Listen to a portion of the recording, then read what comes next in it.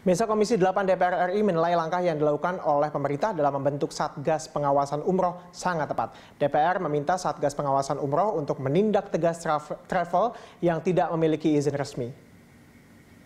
Komisi 8 DPR RI menyambut baik usulan pemerintah dalam pembentukan Satuan Tugas atau Satgas Pengawasan Umroh.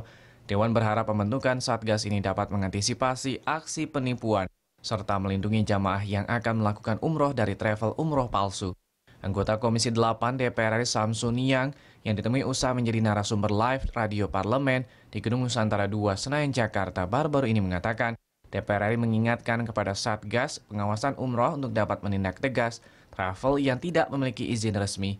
Selain itu, Samsun Yang juga menghimbau Kementerian Pariwisata dan Kementerian Agama untuk dapat memberikan pengarahan kepada masyarakat tentang perjalanan umroh yang baik, sehingga terhindar dari penipuan dilihat itu. Nah pada saat progres travel itu tidak bagus ya ditutup aja. Ini yang perlu sebenarnya, yang perlu dicermati oleh Kementerian Agama dan Kementerian Pariwisata.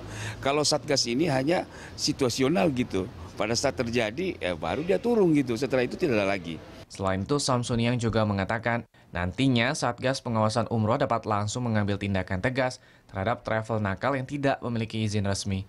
Samsun yang menambahkan langkah yang dilakukan oleh pemerintah telah membentuk Satgas Pengawasan Umroh sangat tepat dan tujuannya tentu untuk jangka panjang dan kepentingan serta melindungi umat dari aksi travel palsu. Banyak travel sekarang yang tidak punya izin, tetapi toh juga memberangkatkan. Banyak di DKI, di di Sulawesi, di Jawa Barat, Jawa Timur, banyak travel yang seperti itu. Nah memang tepat sekali sekarang pemerintah melakukan uh, satgas seperti itu tapi bukan tujuannya untuk saat sekarang ini tapi jangka panjangnya gitu. Zikri dan Teguh Biantoro TVR Parlemen melaporkan